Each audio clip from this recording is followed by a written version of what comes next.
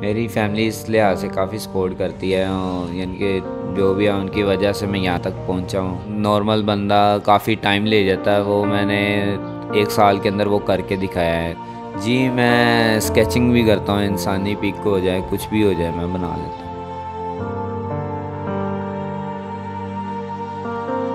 वालेकुम नाजरीन, लाहौरी जलवा से मैं हूँ आपकी होस्ट कलसूम अजमल।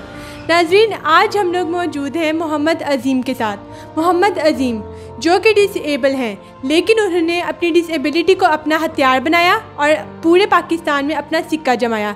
इसी पर करते हैं हम उनसे गुफ्तु अस्सलाम वालेकुम।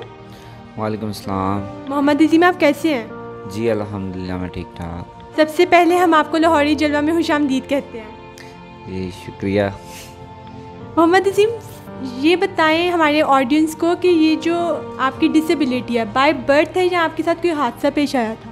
नहीं ये मेरी डिसेबिलिटी बाय बर्थ ही है। आप ये बताएँ कि आपकी फैमिली आपको इस लिहाज से कितना सपोर्ट करती है? मेरी फैमिली इस लिहाज से काफ़ी सपोर्ट करती है और यानी कि जो भी है उनकी वजह से मैं यहाँ तक पहुँचा हूँ। और सबसे ज़्यादा तो दोस्त भी होते हैं जिसमें शामिल इन चीज़ों में होते हैं आगे बढ़ाने के लिए। और मेरे घर में सब भी हैं जो मुझे आगे बढ़, यानी कि देखना चाहते हैं, एक खिलाड़ी भी देखना चाहते हैं और आर्टिस्ट भी देखना चाहते हैं। ये बताएँ कि आपका, किस तरह से आपने सोचा कि आप इस फ़ील्ड में आए? लाइक कुछ डिसेबल पर्सन होते हैं जो मतलब अपनी डिसेबिलिटी की वजह से बहुत एहसास कमतरी का शिकार हो जाते हैं, लेकिन आप माशाल्लाह से इस लेवल पर आए। किस तरह से आपने सोचा कि आप इस लेवल पर आए? मैं जब स्टडी करता था, तब से मुझे शुरू से इस चीज़, इन चीज़ों का शौक़ रहा है। तो सबसे ज़्यादा तो फैमिली की तरफ़ से सपोर्ट था मुझे। इस वजह से मुझे किसी चीज़ का एहसास नहीं हुआ और ना उन्होंने मुझे कभी मायूस होने दिया। और सबसे बढ़कर दोस्त मेरे ऐसे हैं जो, जिन्होंने कभी मुझे ज़ाहिर नहीं होने दिया, मैं ऐसे हूँ।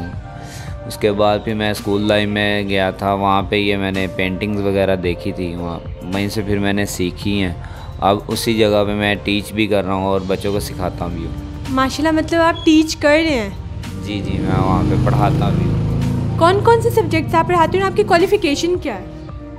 मैं मेरी क्वालिफ़िकेशन तो इतनी नहीं है। अंडर मैट्रिक है पर जो मैं वहाँ पे काम करवा रहा हूँ मैं आर्ट का काम करवाता हूँ। जिस तरह से मतलब ये पेंटिंग्स वगैरह आप सिखाते हैं बच्चों? जी मैं आर्ट का काम सिखाता हूँ बच्चों को सब। तो ये बताएँगे जब आप बाहर मार्केट वगैरह में जाते हैं और मतलब सराउंडिंग में जाते हैं तो आपको किस तरह की डिफ़िकल्टीज फेस करनी पड़ती हैं? वहाँ में बस यही होता है, मसलन के बाहर कहीं दूर जाना हो तो फिर हेल्प लेनी पड़ती है किसी की, जैसे कि उस्ताद के साथ कभी चले जाए कभी भाइयों के साथ चले गए किसी जगह पे, और कभी दोस्तों के साथ, फिर वो उठा के ले जाते हैं, इस चीज़ का बस होता है। वरना और कोई मतलब होता है कि लोग कुछ डिसेबल पर्सन जो होते हैं उनको लोग तंग करते हैं छेड़ते हैं। इस लिहाज से आपको कभी कोई किसी डिफ़िकल्ट कोई डिफ़िकल्टी नहीं हुई? नहीं इस लिहाज से मुझे कभी भी कुछ भी नहीं हुआ। अगर कोई करे भी तो मैं उनको इग्नोर कर देता हूँ वो खुद ब खुद ठीक हो जाते हैं। ये जो माशाल्लाह से आप जिमनास्टिक भी करते हो तो ये बताओ कि ये जब आप इस तरह इस फ़ील्ड में आए। आपने किस तरह सोचा कि आप जिमनास्टिक करोगे? पेंटिंग तो आप माशाल्लाह करते हो, सीखते हो। जिमनास्टिक का शौक़ किस तरह से आया आपको? ये भी मैं स्कूल लाइफ में भी करता था। ये ये हमारे स्कूल में कोच भी थे एक पहले से। तो वहाँ पे हमें जिमनास्टिक भी करवाई जाती थी, पर वो चीज़ें नहीं मैं सीख पाया था जो मैंने अब कर ली हैं। एक साल के अंदर अंदर मैंने काफ़ी चीज़ें सीख ली हैं। जो एक नॉर्मल बंदा काफ़ी टाइम ले जाता है वो मैंने एक साल के अंदर वो करके दिखाया है और काफ़ी मेहनत की है मैंने इस चीज़ में।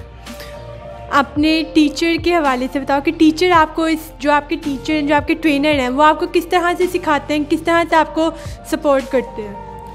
उन्होंने मुझे यानी कि इतना सपोर्ट कर दिया है पहले काफ़ी चीज़ें मेरे लिए मुश्किल हो रही थी बहुत चीज़ें ऐसी थी जो नहीं कर पा रहा था मैं। और सर ने फिर मेरे लिए उन्होंने चीज़ें बनानी शुरू कर दी मेरे लेवल की, मेरी बॉडी के मुताबिक चीज़ें बनाई। तो उन्होंने कहा, अब करो। फिर मैंने उस पर काफ़ी मेहनत की। फिर सर ने भी काफ़ी मेहनत करवाई उठा के, कभी किसी तरीके से उन्होंने उठाना, कभी किसी से आहिस्ता आहिस्ता फिर मैंने खुद करना शुरू कर दिया था। उनकी काफ़ी सपोर्ट थी मुझे। ये बताओ कि इन, ये जिमनास्टिक के अलावा पेंटिंग आपकी हॉबी है? अभी पेंटिंग्स ही है कर रहा हूँ जो मैं। ये घर में भी बैठ के यही कर रहा हूँ। अगर मसा किसी का ऑर्डर मिल जाए तो कर लेते हैं बैठ के घर में। मतलब लोग आपसे ऑर्डर पे भी तैयार करवाते हैं? जी मैं स्केचिंग भी करता हूँ। इंसानी पिक को हो जाए कुछ भी हो जाए मैं बना लेता हूँ। अगर मैं एक अपनी स्केच बनवाना चाहूँ तो मुझे बनवा दोगे? जी ज़रूर बना। फ्री ठीक है आप फ्री बनवा लें। अच्छा हमारी ऑडियंस को अपने कुछ पेंटिंग्स दिखाओ। अच्छा ठीक है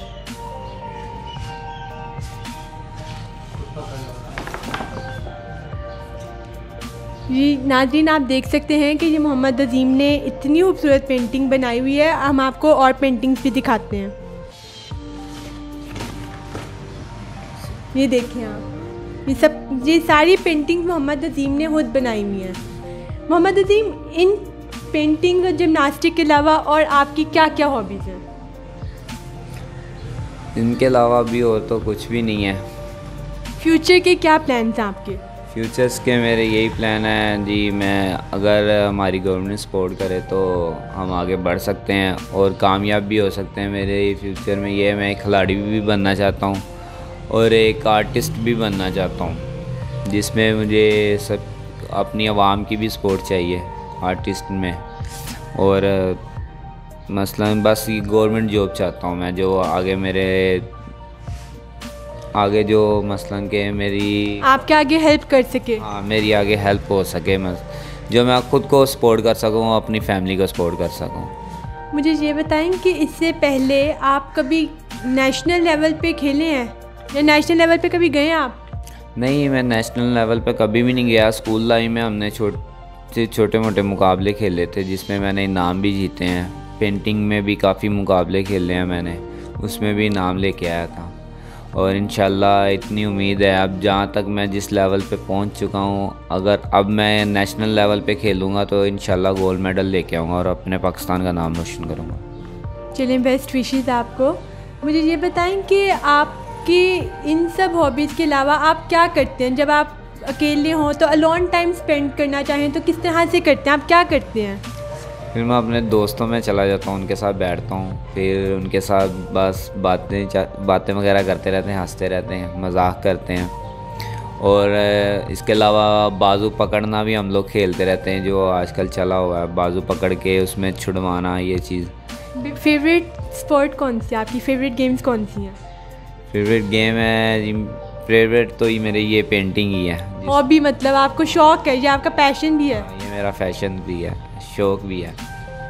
और अपने बारे में कुछ बताएँ अपनी फैमिली के बारे में कि फैमिली आपको किस तरह से मतलब सपोर्ट करती है? काफ़ी हद तक उन्होंने वो मुझे सपोर्ट करते हैं बड़े भाई भी हैं। अब अबू सबसे ज़्यादा सपोर्ट करते हैं। और किसी चीज़ की कोई भी परेशानी हो वो हेल्प कर देते हैं जी ये परेशानियाँ तो चलें हम लोग आपके साथ चलते हैं। यानी किसी चीज़ की भी सपोर्ट यानी कि मुझे ज़रूरत हो वो मेरी पूरी करते हैं। लाहौरी जलवा की तरफ़ से अपनी फैमिली को कोई हाथ पे काम देना चाहते हैं? जी, अपनी फैमिली को यानी अल्फाज नहीं है जो बंदा बयान कर सके अपनी फैमिली के लिए।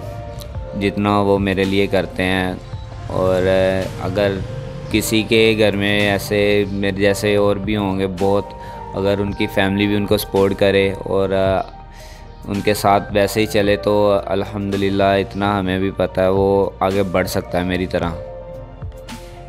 मोहम्मद अजीम, पूरे डिसेबल लोगों के लिए आपको एक अच्छा सा मैसेज देना चाहते हैं। जी, उनके लिए मैं यही कहना चाहता हूँ, जो आजकल मसलन के रोज़ ना रोज़गार होने की बावजूद वो मांगते हैं, अगर वो कुछ ना कुछ कर पाएँ तो वो वो आगे बढ़ सकते हैं, वो कुछ ना कुछ अपनी फैमिली को भी सपोर्ट कर सकते हैं, किसी इंसान के आगे हाथ फैलाने के बजाय वो खुद मसलन के कुछ भी कर सकते हैं। जैसे कि मैं पेंटिंग करता हूँ जिमनास्टिक करता हूँ टीचिंग कर रहा हूँ, और भी काफ़ी चीज़ें मैं करता रहता हूँ ज़िंदगी में। तो उनको यही कहना चाहूँगा। बस अल्लाह पे भरोसा रखें और रिज़क अल्लाह की ज़ात देने वाली है, इंसान क्या दे सकता है? अगर वो खुद को सपोर्ट करें तो वो आगे बढ़ सकते हैं।